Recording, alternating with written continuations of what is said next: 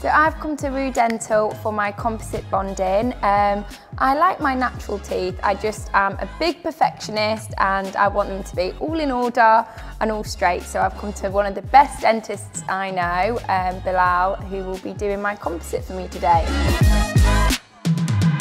Came in, we had some problems with our teeth. Um, composite veneers were placed, and I think they were probably getting to the end of their tether. Spent some time removing all the composite veneers, and today we're actually in to redo what's necessary to regain the smile. So the key is to get a natural smile. We're going to try and make it as beautiful as possible.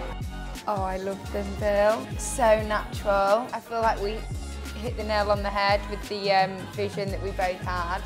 They're enhancing my natural teeth, I feel. They're not changing them. That's the best my teeth have ever looked, ever. Oh, I love them.